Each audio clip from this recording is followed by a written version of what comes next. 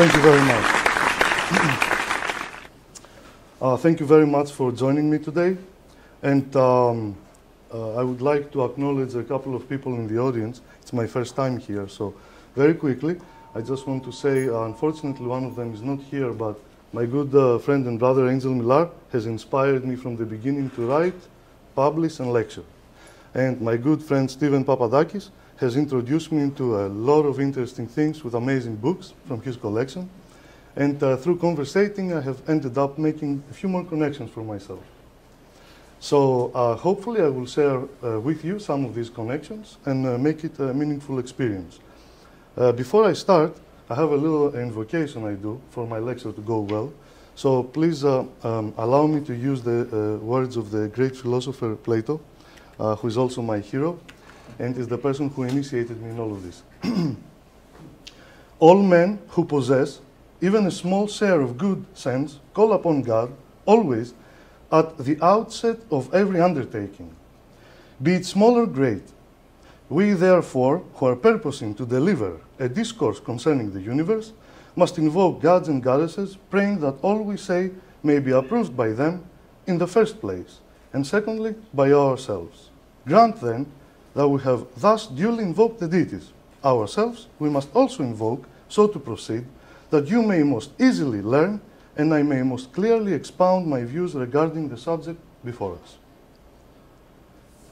So, um, I'd like to share with you my technique uh, uh, that I use in my articles and, if I can, in my music and lecturing. I like to divide it into three parts uh, because with me everything goes in three. So, the first part is a little bit of histo the historical aspects of uh, Orphism.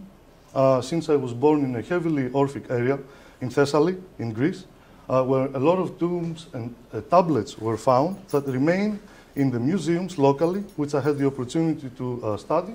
Uh, so I can share a few meaningful things that may not be available to you online or through the, uh, the various resources here in the US.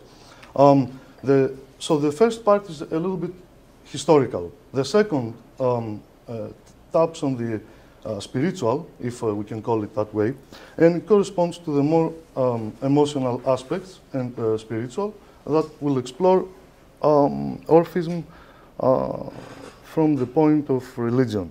And the third part is the philosophical. Uh, of course, all myth mythological, historical, philosophical, and spiritual will be blended throughout the lecture, but I do try to make a point that I have these three parts in there, corresponding to the three parts of the Platonic uh, soul, which is the uh, appetitive, the uh, spiritual, emotional, and uh, he calls thymoides, and the, um, uh, the, lo the, lo the, logistical, the, the, mind. So we will progress from the uh, earth level to the mind level slowly through the lecture. Um, as we start, I would like to go over the etymology as well as the implied meaning of two key terms that I will be using today, mystery and theurgy. Uh, even though these terms are used quite often in everyday life and are understood through their various interpretations in the context of religion, initiatic societies, and mystery traditions, they acquire specific meaning and are directly linked to their etymological exegesis.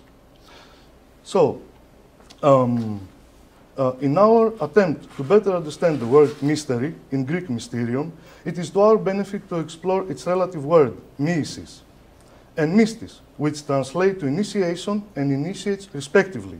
Myesis is produced from the verb mio and describes the contraction of muscles, more usually the closing of one's eyes and mouth.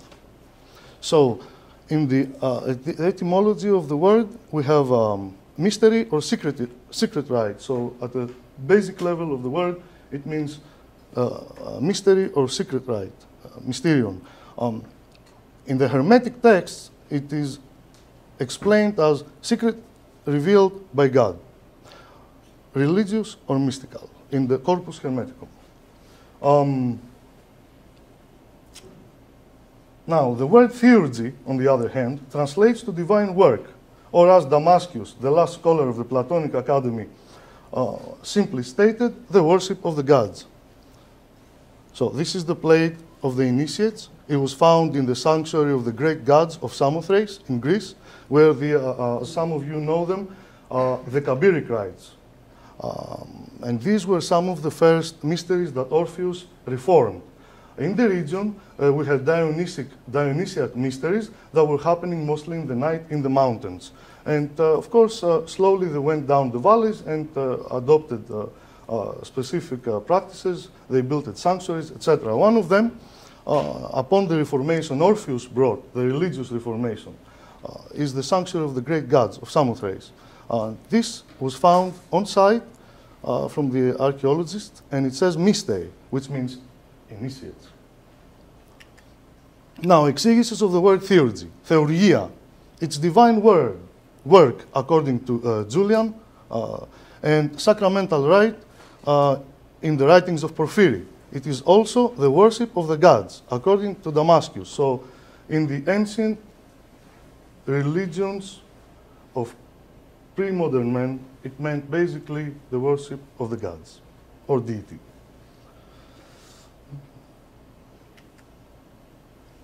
In the Greek tradition, Orpheus was born in what is called the Golden Age of Heroes.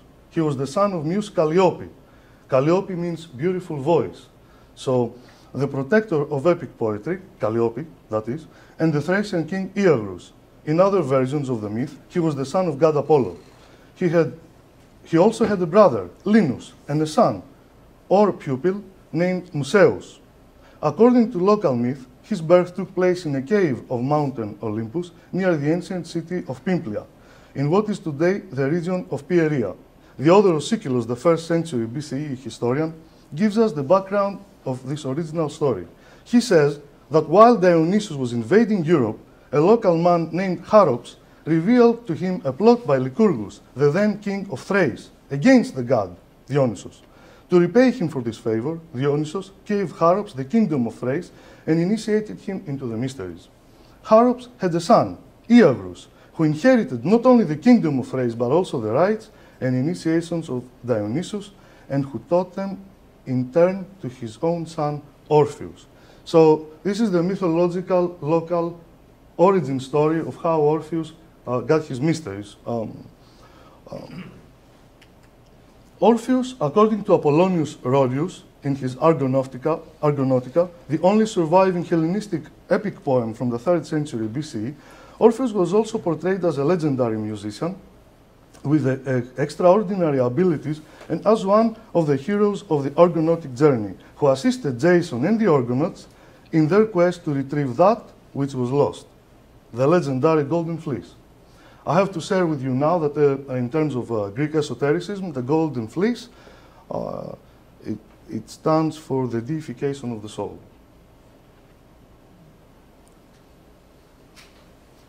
Now, about the death of Orpheus, like all uh, mystery, uh, great mystery uh, initiators, sages, Orpheus had also an initiatic, um, I'm sorry, um, what is known in, is the mysteries as the Kabiric death, the murder of a, uh, of a character by two or three other persons who either are devotees of a uh, certain religion and they're mad and they're killing the person who strayed from the path, or three brothers. So it's an archetype. Now, the death of Orpheus has three different origin stories that we do not have, unfortunately, the time to explain here, but I would like you to uh, proceed and look further if you find them interesting. One says that after he's lost his wife, Eurydike, um, he got uh, mad and uh, took his own life. Another one says that uh, Zeus got very angry for him um, uh, sharing the mysteries and making them known to men, which basically stands for, uh, his, in historical terms, as a reformation of the mysteries that allowed everyone to participate. So he opened the mysteries. Therefore, Zeus got mad and thunder blasted him. But there is another one uh, that is more initiatic that took place in the uh, Orphic initiations, and um, that is that he was murdered by the Maenads, the devotees of uh, Dionysus, um, who were mad at him because after he lost his wife, he went every morning to the Mount Pangaeon and worshipped the sun, which means that he turned Apollonian from Dionysiac. And because the followers of Dionysus, the uh, so-called uh, uh, uh, got angry and murdered him. Now this is very nearby where I live, and it is the traditional burial of the historic Orpheus. Uh, the region is called uh, Livithra. It still has the original name today. It is the ancient Livithra. And this is the destroyed Acropolis. Um, it was not destroyed by a war or anything, but there was a huge flood couple of thousand years ago that destroyed the ancient city. Uh, in there, uh, it is rumored that the bones of Orpheus uh, were placed. And after the flood, they took them to a nearby sanctuary in the ancient, ancient city of Dion, uh, which was also the first sanctuary of Ipsistos Olympian Zeus, the first sanctuary devoted specifically to Olympian Zeus. Um, this is a view of uh, an archaic uh, village uh, in the same area where Orpheus, it is rumored to have lived and operated. So if the area looked uh, anything, it would probably have looked something along these lines. If you can see it, I'm sorry, I cannot see from here. Um, so, now, Concerning the historic Orpheus, while it is a daunting task to trace his steps in detail, it is my hope that by presenting some of the scarce evidence that exists regarding his life and times, I will offer an honest and intimate view of this great initiator. His ideas, teachings, and contributions as a theologian, poet, and musician inspired the significant and long lasting reformation of the Greek religion and its mystery traditions, especially the Bacchic Dionysian mystery rites of Thrace and Thessaly, the mysteries of the great gods of Samothrace, also known to some as the Kabiric rites or Kabiric mysteries, and the world renowned Eleusinian mysteries. Uh, this is the Hieron from the sanctuary of the great gods in Samothrace the main place where initiations took place after um, all the uh, cathartic procedures of the initiates. Uh, this is where the initiations used to take place, at least according to the archaeologists. Uh, it is found in the island of Samothrace. This is what remains of one of the uh, uh, sides of the Telesterion, the sanctuary of Demeter at Eleusis, um, uh, where I took this photo from a little bit to my left, in the, before 600 BC, there was a small structure that housed a wooden statue of Demeter that was revealed to the initiates upon the peak of the initiation rites. This is the initiation of Hercules. Uh, the description does not say this, but I personally have researched and I got an idea that this, I'm sorry, where is the, oh, that this person you see right here, it's a traditional Eleusinian priest from the genus of Evmolpus. Um, uh, he's an Eumolpides, the person who inherited the reconstitution and structuring of the mysteries around that time. He initiates Hercules. Now, in Greek, the etymology for the word Hercules means the glory of the soul. So the implication in this image, uh, you can see here a triangular altar with a symbolic fire on top.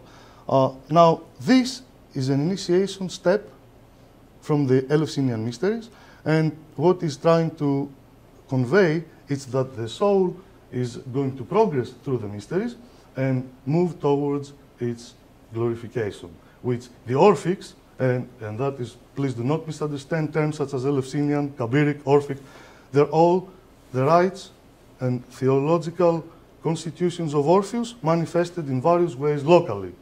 But the message of the mysteries, it's always the same. They're cathartic, they help the soul to progress, and uh, towards its eudaimonia, eudaimonia, and glorification.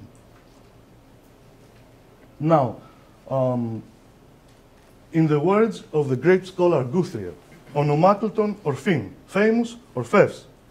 In these words, torn from their context like so many fragments of ancient literature and embedded in the writings of a late author, Orpheus makes his earliest appearance in history. They are the words of the poet Ivikos, who lived in the 6th century BC. Famous he was at the first date we hear about him, and famous he has been ever since. In his Pythian Odes, Pindar, the ancient Greek lyric poet from Thebes, refers to Orpheus as the father of songs, and much praised Orpheus. Demosthenes, the celebrated orator and statesman of ancient Athens, refers to him in his Against Aristogiton as the prophet of our most sacred mysteries. This is the Parian marble. It is found in the Ashmolean Museum in the University of Oxford in England. Uh, it is a very famous part of a three-part stele found in the island of Paros. Um, the Parian marble, mar, uh, my apologies, marble, it's, a, it's, the earliest chronology of the ancient Greeks in stone. Um, as the oldest extant example of a Greek chronological table, Orpheus makes, on this, I'm sorry, on this uh, specific fragment, Orpheus makes another important appearance um, in fragment 14, this time in relationship to the Eleusinian mysteries. The fragment reads, From when Orpheus made known his own poetry, the rape of Kore and the search of Demeter, and the seed created by her and the multitude of those receiving the corn, 1,135 years when Erechtheus was king of Athens. Now, the chronology works like this. It takes kings and specific dates, and based on those uh, tyrants or kings, they uh, do a chronological order backwards. That from the king Erechtheus, since Orpheus, there have been 1,135 years. If we add the fact that the uh, fragment starts the chronology at 263, 64, and we add the 1,135 anyway years inscribed into the marble, we end up with the date 1399 BC. That means that according to the ancient Greek chronology stated in marble, Orpheus is at least 3,400 years old in terms of theology and uh, uh, mystery rites uh, and his teachings. Now, please take that with a grain of salt. We do not know the facts behind it, but it does exist in marble. Okay. Now, what are the Orphic texts? The Orphic texts are whatever has survived from the teachings of Orpheus in fragments and various sources that collect them. Uh, one of them is the Orphic fragments collected by Professor Otto Kern, and as far as I'm concerned, I could be wrong, it does not exist in any other language other than ancient Greek and Latin. Uh, had the opportunity to read the text. I have it at home, and it is very difficult to read even in the uh, original language. Uh, it also exists in modern Greek, so thankfully I was able to browse through it in my uh, native tongue. Uh, in there, it is being reproduced and reconstructed by Professor Otto Kern, what is known as the Orphic Rhapsodic Theogony. This is uh, among the Orphics known as the story of the six kings. This is the ascension of Zeus from the very noetic levels to the noeric to the sensible world. That, is the, that means that uh, Zeus ascends from uh, his very abstract uh, way of being named and understood as a deity all the way down to the base earthly Dionysos, uh, representing, of course, the uh, union of the four elements.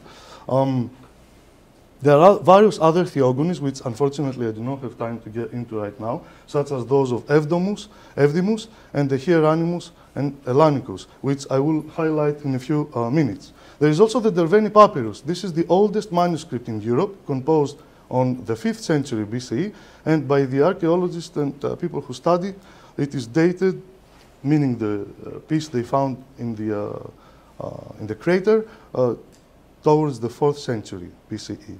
Then we have the Argonautica Orphica. This is the same Orphic text uh, that describes the Argonautic journey to retrieve the Golden Fleece, but it's a more esoteric and very, uh, very deep in comparison to the Apollonius Rhodius 3rd century BCE we talked uh, a few minutes ago. Uh, we also have the Orphic gold tablets. These are found mainly in my region in tombs of Orphic initiates in the region of Thrace, which is north of Thessaly. My region is Thessaly and then in the island of Crete, in uh, uh, Sicily, and a few other locations that escape me right now. But in any case, they revolve around uh, Sicily, the islands of the, the, Crete, and the midland of the central Greece, central and central north. Uh, what are they?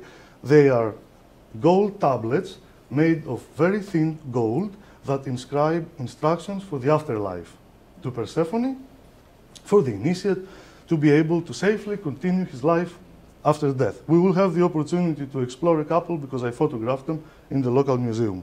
Uh. So this is the Orphic corpus. And believe me, it is more, more than we need to understand the, uh, the uh, mysteries and theology of Orpheus. At least that is how I feel. Um, now, the scholarly dating of the Orphic hymns, I, my apologies, I forgot the most important part. We also have intact surviving 87 Orphic hymns. These were the sacred texts of the Orphics who were practiced uh, either in private or in the Eleusinian mysteries in the context of um, theurgy, which, as we spoke earlier, uh, it is explained in the Orphic tradition as the uh, worship of the gods. Now, these 87 Orphic hymns has been rumored that they are dated anywhere between 6th century BCE and 34th century CE. That is not very helpful for me. By a renowned astronomer uh, in Greece, who also at the time, if I am not incorrect, was also the head of the uh, planetarium of Athens uh, somewhere around 1965. This person wrote a, a, thesis for his university that has never been translated in English that I will share with you as meaningfully as I can and fast, because I don't want to be stuck in the chronology aspects of the religion and go into the more esoteric stuff.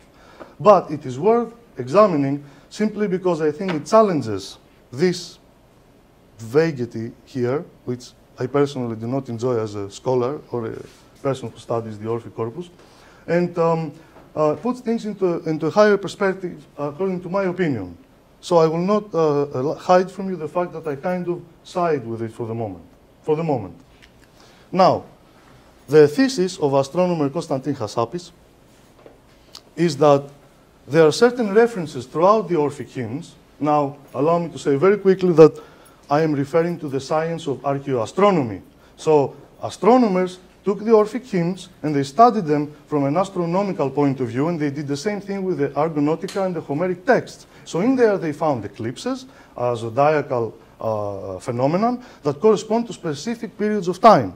That because they have, they have to be observed, the archaeoastronomers decided that you can only put this in the hymns, not only if you have observed it, but you have observed it from previous cycles. That makes it very old. Now, the thesis of Hassapis is very elaborate, and I cannot get into it, but I would like to mention two references from it. Allow me to find my slide. I cannot see from here. So, um, there is a phenomenon of equal summer and winter that occurred somewhere between 1366 BCE and 841 BCE. What that means is that the phenomenon lasted for almost 500 years, and it had to be observed Otherwise, it would not be able to be included in the Orphic hymns, according to the researchers. Okay? Now, the Orphic hymn to Apollo, that is uh, numbered as uh, uh, hymn 34, line 21, giving them equal measure of summer and winter. This is the phenomenon Hassapis is referring to, a phenomenon that occurred between 1366 and 841. If you remember from the Parian marble, Orpheus has been dated almost to 400 BC, for 1400 BC. That seems to agree with the position Hassapis, who places Orpheus in that time frame. Still vague, but agrees with the ancient uh, fragment from the Parian marble, which is something that I like very much as a researcher. Now, a second reference is, it is proved from the lines, yoke your swift chariot down by bull-slaying lions, and another second line from the, uh, that was from the hymn to the, of the mother, uh, to the mother of the gods. Yoke your swift chariot drawn by bull-slaying lions. And then there is a second line in the Orphic hymn to Hera, number 14, line 2, that reads, Your sacred chariot is drawn by bull-slaying lions. This Hassapis thinks that there is a reference to the spring equinox and to the summer solstice when these were taking place respectively in the constellations of Taurus and Leo up to 1841 BCE. And here I'm going to close the uh, historical and mythological part, and I'm going to move into the more esoteric uh, material. Um, I do not know if I can side with Hassapis, but uh, I can trust archaeoastronomy that has been developing for the last few years and has provided much more sufficient dating results than mere speculation from academics, uh, at least in, uh, to my opinion. Now, who were the Orphics? The religious expression that sprang from the Orphic Dionysian initiation rites was mostly prominent during the 6th century BCE. The doctrines that they were drawn, developed and attributed to Orpheus from these rites and practices, gave birth to the various Orphic circles from which emerged private Dionysiac mysteries. Very quickly, I'm going to say that a tyrant named Pisistrat during the 6th century BC, in the oral tradition of Greece, it is uh, known that he has dispersed to the Athenian elite, philosophers that go all the way up to Plato and the Platonists, uh, the Orphic doctrine. Also, in his court, there was another person rumored to have been responsible for the dispersion of the Orphic uh, rituals uh, called Onomakritos. And that was around 6th century BC. Uh, these are esoteric, these Dionysiac mysteries, these are esoteric, they take place at night. Access is through an individual initiation, uh, known in Greek as telete. As a symbolic closed and mysterious, the Bacchic grotto or cave appears the role of the sexes becomes less important. There are male as well as female myste, initiates in English. In contrast to the mysteries of Demeter and the great gods, the mysteries are no longer bound to a fixed sanctuary with priesthoods linked to resident families. As we saw earlier in the Kabiric rites of Samothrace, the sanctuary, and the Eleusinian sanctuary of Demeter, all that was controlled by families generation upon generation, such as King Eumolpus, you saw, giving the initiation rites of Demeter to Hercules. But Orpheus reconstituted the mysteries for everyone to be able to participate and disperse. That was a major change. So, they make their appearance, uh, the, uh, these Orphic priests, they make their appearance wherever adherents can be found. This presupposes a new social phenomenon of wandering priests who lay claim to a tradition of orgia, telete, initiation rites in English, transmitted in private succession. These Bacchic initiations are neither a spontaneous outburst nor a public festival. Admission rests on personal application. There is a preparatory period, a tradition of sacred rites, and finally, the integration to the group of the initiates. A man, a foreigner no less, is admitted for initiation. This was a paraphrase from the famous scholar Walter Burkert. Uh, if you want the scholarly correspondence. For Plato, though, Dionysos is the master of the telestic madness, the process of the initiate soul uniting with God, in this case, Dionysos. Uh, Plato distinguishes uh, clearly the telestic madness from the erotic philosophical madness that initiates the initiates and unites them with God through the process of philosophy. In a few words, through the, pro the process of self-initiation and dialectics, a philosophical process. He distinguishes it because the initiates go through a cathartic process where eventually they will unite uh, with deity. So he distinguishes the telestic madness from the music and the philosophical madness. The reason I say this is because there was a point from where the mysteries started becoming from simple and uh, uh, agricultural to philosophical and deep. So certain distinctions started to arise with the ascension of philosophy. Um, now, the beliefs and practices of the Orphics. They believe in the immortality of the soul. Very ancient doctrine, very much like the Egyptians and other cultures of that time. Um, they believe in the dual nature of humanity, the Titanic and the Dionysiac, the Chthonian and the divine. Now, there is a myth where when Zeus gave his kingship to Dionysus, and the Titans found out, because he gave birth to Dionysus with his intimacy with Persephone, Hera got crazy mad. So he, she went to the Titans and told them, help me kill Dionysus, because he was very jealous. So the Titans put gypsum in their face and went to Dionysus when he was an infant. They gave him a basket with toys from which Dionysus got fascinated and he picked up a mirror. Looking himself in the mirror, he forgot himself. At that moment, the, titan, the, the, the Titans took the baby Dionysus and ripped him into seven parts. But they carefully placed the heart on the side. When Zeus found that out, and since because I forgot to say that they roasted these parts and they ate them to partake into the slaughtering of Dionysus, the smoke reached up in Olympus and Zeus took notice that they killed his uh, firstborn son. So he thunderblasted the Titans into ashes. he sent goddess Athena to retrieve the heart, who was still beating, hence the name Athena Pallas, the low vibration. Athena, the vibrator. Okay? Athena, in the esoteric uh, religion of Greece, represents the low vibration, the first cosmic pulse. So it's not just the goddess of wisdom, but she's also the low vibration. Uh, this is an allegory that she retrieved the heart. And she took it back to Zeus, where he united it with the ashes of the Titans, and he gave birth to the human race. Therefore, in the myth that was used in the Orphic mysteries, the Orphic initiate is calling to reduce the Titanic part and cultivate the Dionysiac. Why? Because the Orphics believed in reincarnation, and in order to achieve the appropriate catharsis and progress in the soul, you needed to go through the reducing of the Titanic chthonian part of the self and uh, cultivate the higher part of the self. Now, um, they, were, they had a materialistic view of the cosmos and the soul. That means that they believed that the whole world was made up of the four elements. I will explain that in, a, in, a, in, a, in one second.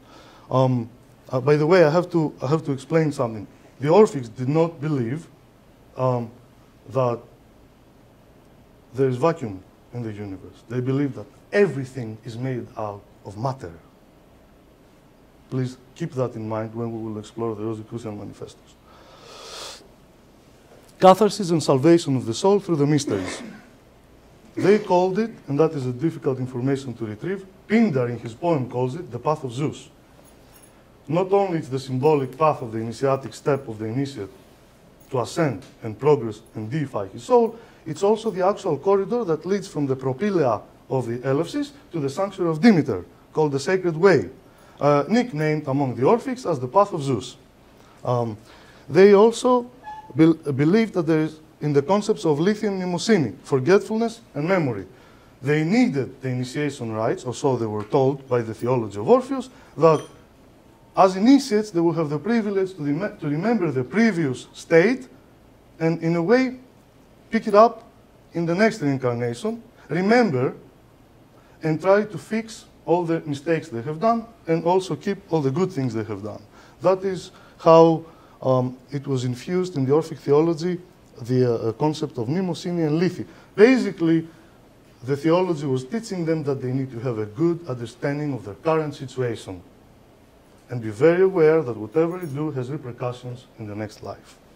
Uh, the mysteries, though, promised the gift of mnemosyne. Oh, I'm sorry, I cannot see. They exercised piety, they had a strict moral conduct, and they lived an ascetic life. Uh, they believed in palingenesis. And also, they believed from the freedom from the cycle of rebirths, with the exception of, with the expectation of bliss, and in Greek called eudaimonia, and the deification of the soul. Now, I would like to very quickly highlight the Orphic theology. This is from a summary that has survived in the writings of Damascius, and uh, it is known as the Hieronymus and Hellanicus theogony. Are, they appear in three creative triads. The unutterable principle, it is dual nature. This is the very, very first expression of deity. Orpheus says we cannot talk about it. It is secret because it has not expressed itself yet. Therefore, we skip it. We just leave it as is. Water and earth, they're also unutterable. Orpheus is calling them Hydor and Hyle. That means water and matter. Now, these cannot be understood as singularities. They are causalities who will give birth to water and earth. Because when Orpheus says water and earth, he means all the states of matter of earth and all the state, the liquid states of matter. It could be um, uh, gas. He would still call it water. Okay? The third principle that is born from the, what Pythagoras and Plato called unity, which is the Hydor and earth, it's a duality, gives birth to the unaging time. Orpheus is calling, calling it unaging time. It's dual nature. It maintains its dual nature. It's male and female. He's calling him Heracles. On the left of, of, of, of time, we have necessity, and on the right, inevitability. In the Orphic theology, there is no karma, there is necessity. Gods do not act out of a karmic um, balance, need to balance things. They do things only out of necessity to harmonize. They initiate in his soul has freedom, and the gods do not interfere. They only interfere to create the divine justice, with, with aiming at a balance, not to punish. So there we need to highlight this necessity. It is very important because in the Orphic theology there is no karma, there is only necessity. Things happen out of necessity. Second creative triad ether, chaos, and erebus. Chaos stands in the middle. It's a primordial state. It's the primordial soup. You know it from science of the primordial soup. It's all the elements without being a, a singularity yet. And the third creative triad is the cosmic egg. It has the shape of an egg, that the universe has the shape of an egg. It maintains its duality. It's the causality of the triad. All the elements that comprise it are within, that is the creative powers of the triad. And then you have Phanes, the revealer. This is the power of revelation that appears upon the smashing of the egg in the middle, uh, as the Orphics uh, uh, propagated. They called him Phanes. In Greek means the revealer. He is also dual natured, and he represents the mind of the triad. They also called him the firstborn. They also call him Zeus. So now you know who Zeus is. They also call him Pan. In Greek, Pans means the regulator of everything in the universe, cosmos. They also call him Eros, and Erikepaios, life giver, and Metis, spirit. These are three creative triads. These are noetic triads. They cannot be fully perceived by humans. Uh, that is why are abstract. Now, beyond that in the theogony, we don't have time to explore it. I just wanted to open up the door for you. Um, the Phanes represents the four elements, the four cardinal points, the four everything. It's a singularity. It's the first uh, tetractys, Phanes, and it's a very deep thing. Um, is the mind of the cosmic egg. So the universe has the shape of the egg, has all the elements inside as a potentiality, and Phanes is the one that revealed the form and the singularity of the elements. Now, this is the ascension of Zeus. It's also part of the Orphic theogony. And what it does is this, is what happens after Phanes. Phanes is a very abstract noetic triad. It's an impersonal god. The Orphics could not pray to him. So we're talking about stages of creation. This would be able to resemble for you the biblical six stages of creation. Uh, they also had something similar. Phanes was very abstract, and it was a singularity of the four elements. The state of the world that has just appeared through its elements, but without form. Now, Nyx is the cosmic womb, the darkness, in which form will appear. Uranos, that for the Orphics had the shape of a sphere, appears as the world of formation, the heavens. Kronos killed Uranos, as you know from the Greek mythology, and took the ascension. That is another step of creation, less noetic and more sensible, easily understood. Kronos then was murdered by Zeus, who became the king of the material world. So there is a lot in the Orphic theology, but they all ending up with Zeus as being the king of the sensible world. Phanes is the king of the noetic world, and Kronos is the king of the noeric. So, noetic you cannot pray to. Noeric, you know it's there, but you can't, it does not reveal itself to you. But Zeus is someone you can relate. He's the king of the natural laws, and he presides at the seat of the heavens. Dionysus now, it's the king of the sensible world here on earth. So you can understand what I'm talking about and not be confused. Zeus is the space between the moon and beyond. Dionysus is Zeus between earth and the moon. So it's another level of, of, of way, it's another way of understanding Zeus. So Zeus here is more abstract, and he's beyond the moon, and Dionysus is Zeus on earth. It's a heavier mass, it's heavily um, material, it's easy to comprehend, and you can pray to. Very equivalent to uh, Jesus, uh, the Son of God who came to help the soul of the initiate progress. Okay. Now, um, this is the photos I have promised. This is from an Orphic tomb. It's a, it's a female initiate from the first half of the third century from my region, a few kilometers away from my hometown. And this, and they found everything. So I don't have time to go through the items, but you can see these are telestic, these are ritualistic items that she have probably have used for her Orphic uh, theurgy. Um, these two here are very significant because you can see the egg. The egg for the Orphics was the symbol of the immortal soul and represented the world soul of the cosmic egg from which Phanes emerged. The um, uh, the power of revelation. Uh, in terms of the microcosmos, the miniature of that here on Earth, egg is the soul of the initiate. So you have the big cosmic egg and the small egg in rituals that represented um, the soul of the initiate. These are the Orphic gold tablets, small inscriptions with directions for the afterlife from found symmetrically in the uh, breast uh, plate of the, of the initiate and they have the shape, not of a heart. Uh, archaeologists say that it resembles, it resembles mostly um, ivy leaves. Allow me to have a sip.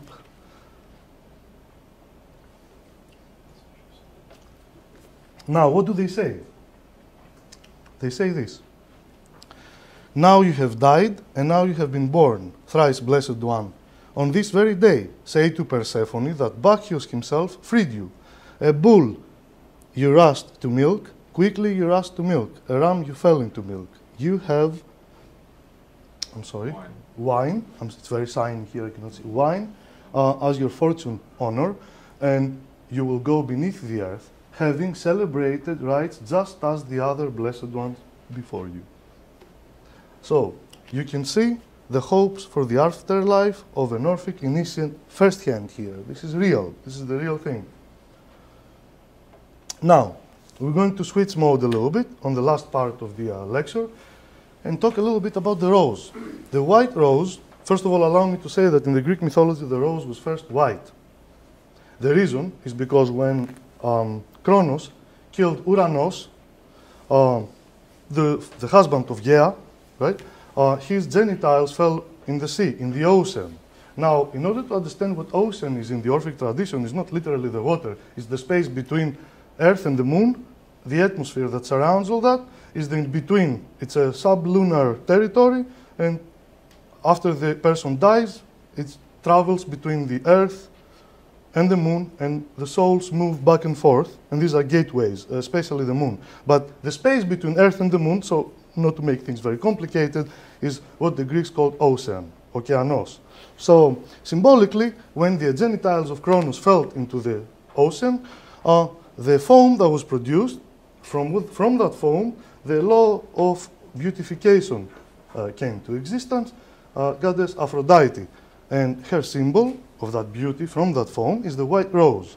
Later, the rose became red because she flirted with the god this, the, uh, uh Adonis, which is another form of Dionysus. And when uh, her lover, um, uh, you know, Ares found out, uh, the god Ares uh, was the lover of Aphrodite. Meanwhile, she was married to Hephaestus. So there's a lot going on here. So she had a boyfriend, and uh, that was god Ares. And then she fell in love with Adonis. Adonis, by the way, it's like uh, the Dionysos of, uh, of uh, Cyprus and the Middle and Near East. So it's a very similar deity. Um, and uh, when Ares found out, started chasing to kill Ares, um, and uh, because couldn't catch him, sent a, a wild boar which uh, wounded him and eventually killed Adonis. From the blood of Adonis, you got the roses red. That is the myth. I will not go beyond that point. I just wanted to uh, share that I will translate everything today through the Orphic point of view. Uh, that is why I explained the rose from, in terms of the Greek tradition. Now the cross. The cross is more difficult. Um, this is an, the idol of Pomos uh, from Cyprus, and it's from 3000 BC. That makes it uh, 5000 uh, and a few years old. Uh, as you can see, it's clearly cruciform, and here is also wearing a cross. Archaeologists and scholars thought that the cross is apotropaic. That means for protection. So that is all I know about the, this uh, Cypriot um, uh, idol um, that uh, you can make the connection now that the cross for 5,000 years has, has been a symbol of protection. Now, this is the cross of equal arms. It's also known as the Greek cross. Uh, it was found at the palace of uh, King uh, Minos by uh, Sir Arthur Evans, a famous uh, archaeologist, British archaeologist, um, and it's from 1600 BC. So if you thought the cross is a new symbol, it is not. Um, this is the context that was found. Um, this is the shrine of the snake goddess as it was uh, reconstructed by Sir Arthur Evans. And this is how it was found at the palace of Knossos. Now, very quickly, I'm going to go to um, uh, most scholars with the manifestos have a favorite. Uh, McIntosh, Christopher McIntosh, and others uh, accentuate Paracelsus, uh, Theophrastos Bombastus. Sorry, I can't remember. Johann, can't remember the whole name. Uh, the alchemist known as Paracelsus. Um, uh, the renowned scholar Frances Yates uh, prefers John Dee, the alchemist, magician, and uh, um, astronomer of the Queen Elizabeth. Uh, mine is Gemistos. I will very briefly, because I don't want to step away from the esoteric aspects, give you the entry that Mr. Uh, Christopher McIntosh have in his books, uh, The Rosicrucians, um, which I find very interesting. And uh, I, I invite you to go and research a little bit more, more because to me, this is ground zero, zero for Rosicrucianism. Or at least you'll understand why I, I feel like that.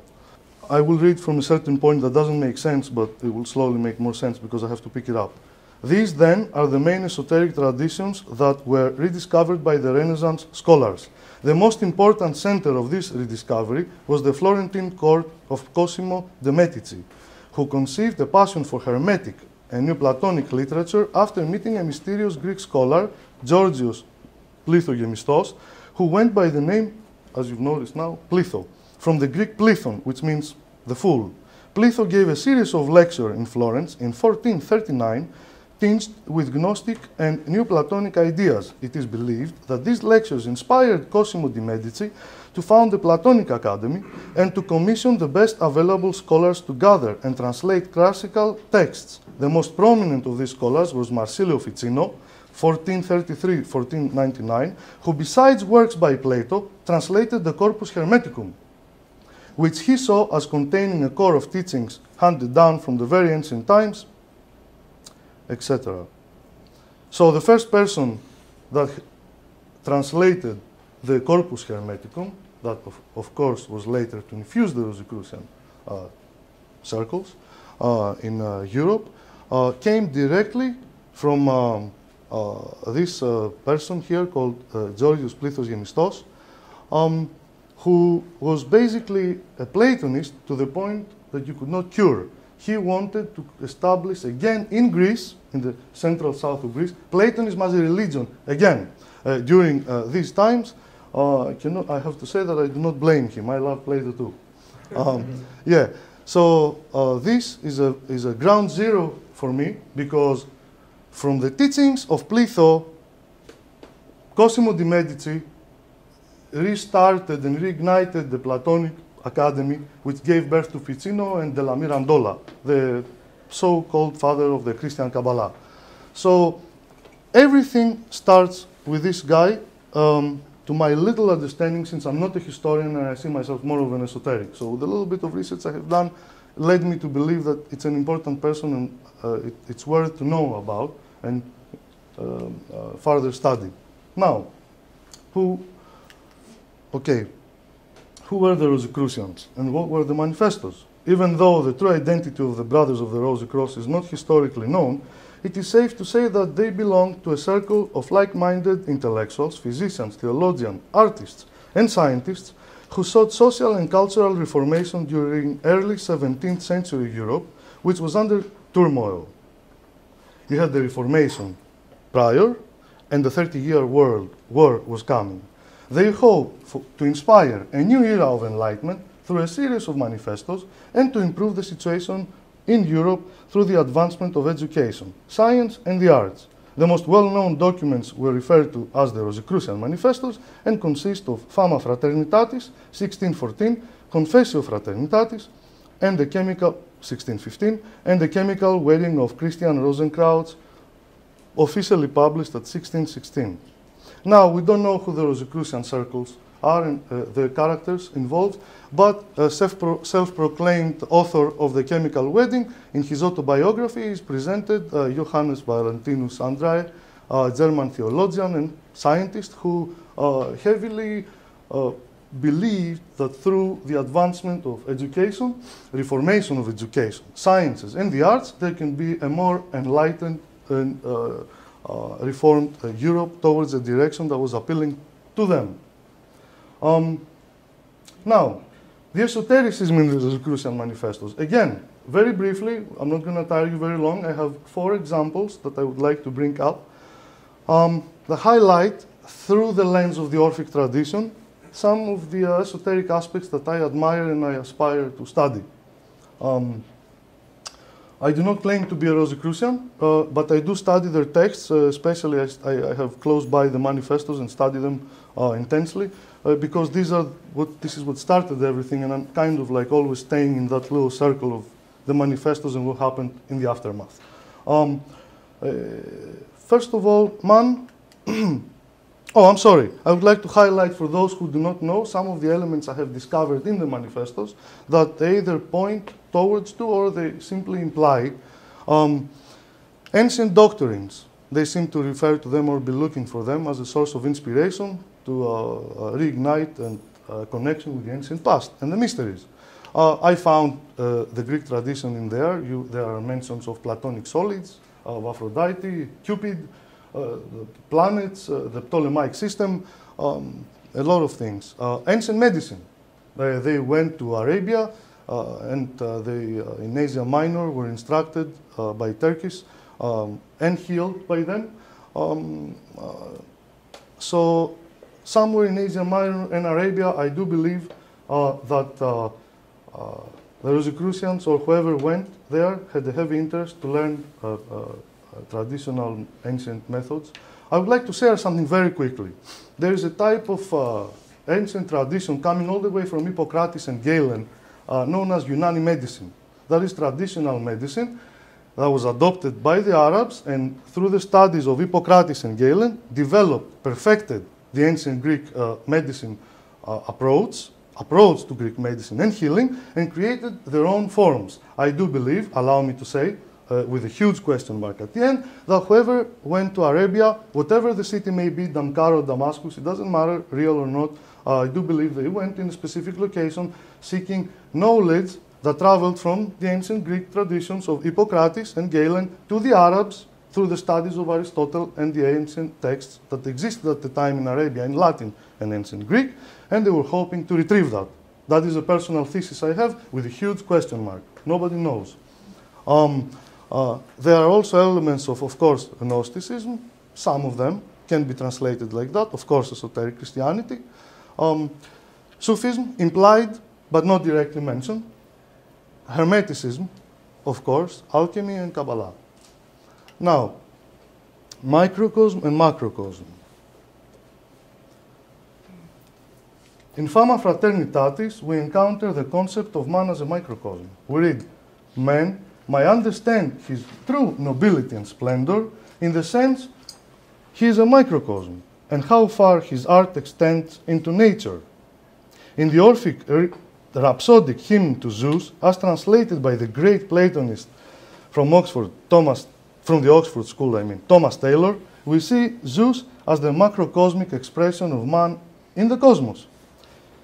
His eyes, the sun, and moon with borrowed ray, his mind, is truth, unconscious of decay, royal, ethereal, and his ear refined, hears everyone's voice and sounds of every kind.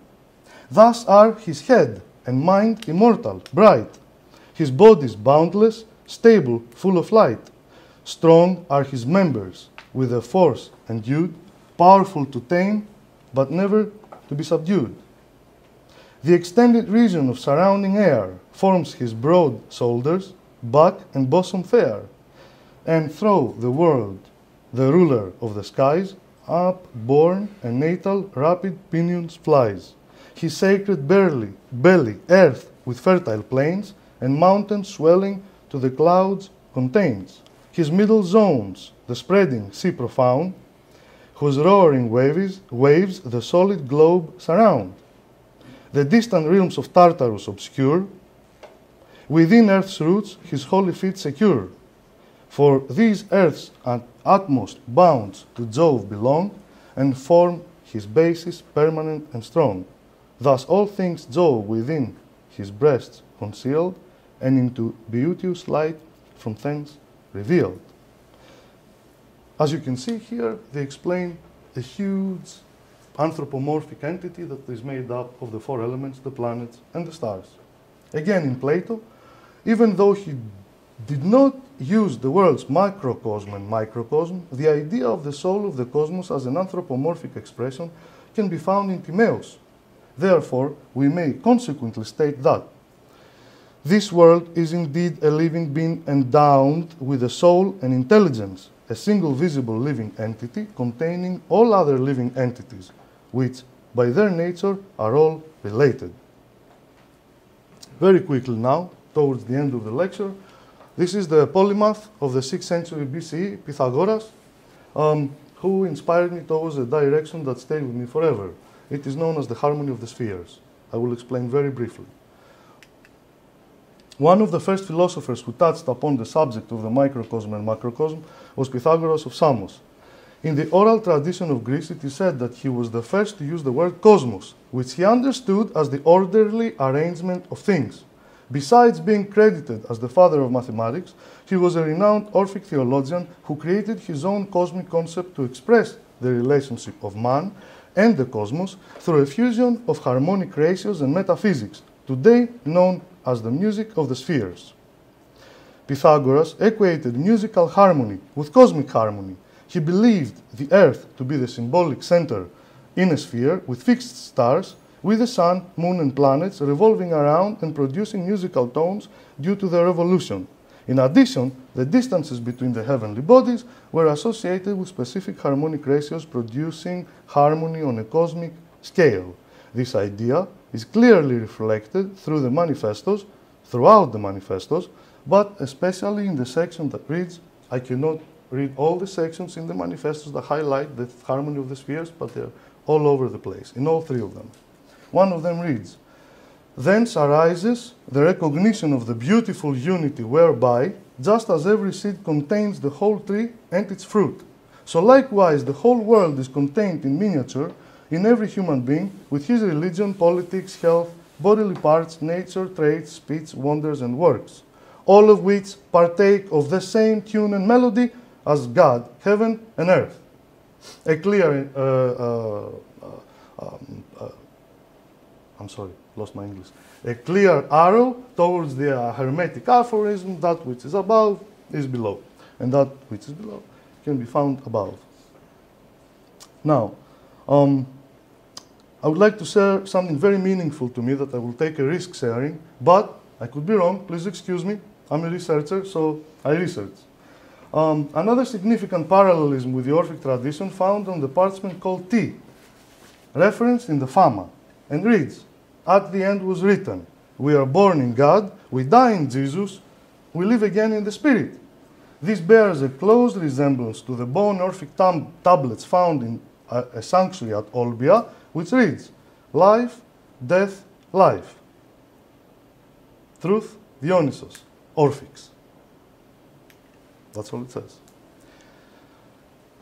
So, there are certain ratios here I will play for you very quickly, since I'm a musician, some of the intervals that consist of the cosmic harmony. So I will not bore you to death with intellectual uh, endeavors. Ha. So, uh, of course, this is a modern Western concept of uh, uh, dividing the tones. The ancient one, of course, would sound more exotic. And allow me to play these tones for you. Oops. Yep. Head it off for the lecture.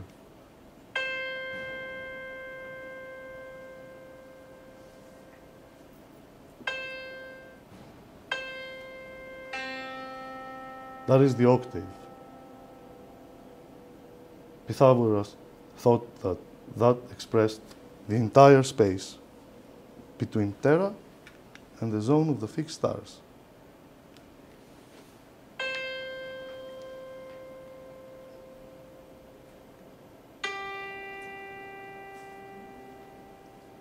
That is a fourth.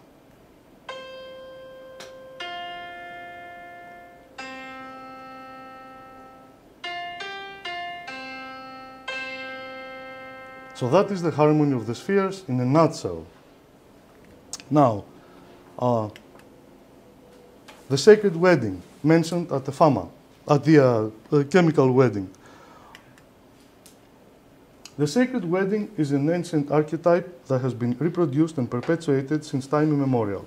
In most mystery traditions, as well as everyday life, it represents the sacred union between the masculine and feminine powers of the cosmos.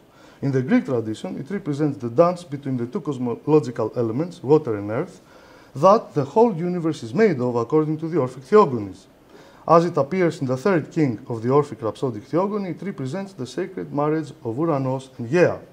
Nyx, the nurse of the gods, made obvious those who were previously concealed. She gave birth to Gea, whose name means earth, and to Uranos, whose name means sky.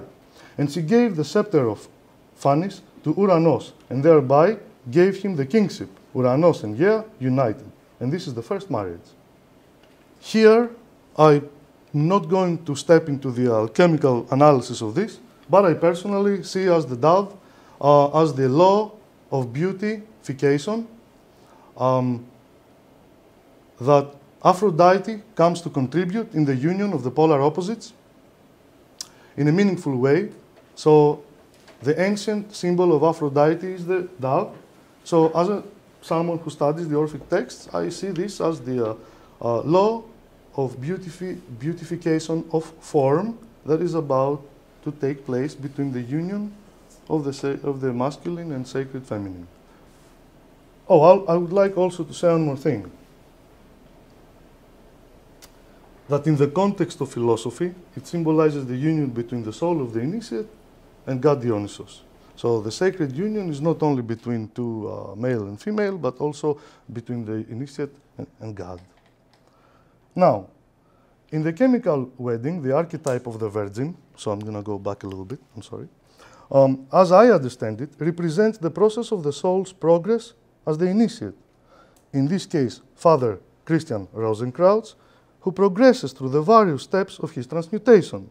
It can also represent the archetypal Kore, Persephone in the Greek Eleusinian mysteries, who the esoteric explanation that she, that, that she represents is the process of regeneration. So the virgin to me in the uh, chemical wedding, it's an abstract understanding, among other things, as the process of the regeneration of the soul of Father Rosenkreutz that is about to happen and his the, soul, the progress of his soul through the alchemical steps of the, uh, the chemical wedding. Now, I would like to close with the words of Father Rosenkreutz, who says, The height of knowledge is to know nothing, echoing the belief of divine Socrates that all he knows is that he knows nothing. Thank you very much.